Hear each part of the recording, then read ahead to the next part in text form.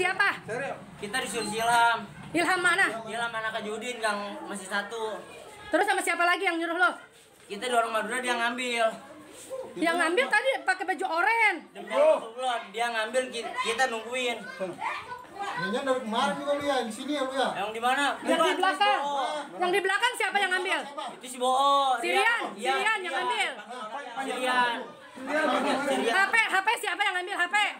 Apa Sirian? Sirian, benar ya, awas lo. Pokoknya di rumah dia ada motor tiga. Tapi yang ngambil motor di rumah, yang barusan siapa? Silam. Si Ilham apa lu kan bajunya oren, Nono yang ngambil mah. Kita di orang Madura.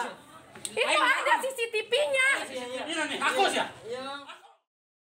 Kejadiannya eh, kira-kira jam setengah sembilan, Ya. jam sembilan pagi.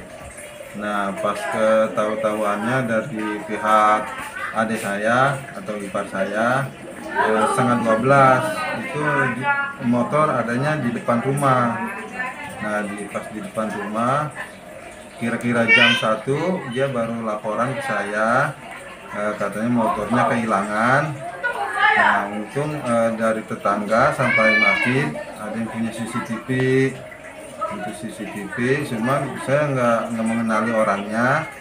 Nah, pas alhamdulillah kira-kira hampir setengah dua ada tetangga eh, namanya Ibu Desi, dia pedagang Yakult keliling eh, melihat motor motor Nah, dan saya, saya diinformasikan katanya motor adanya di dekat Kelurahan Porsigaga Baru.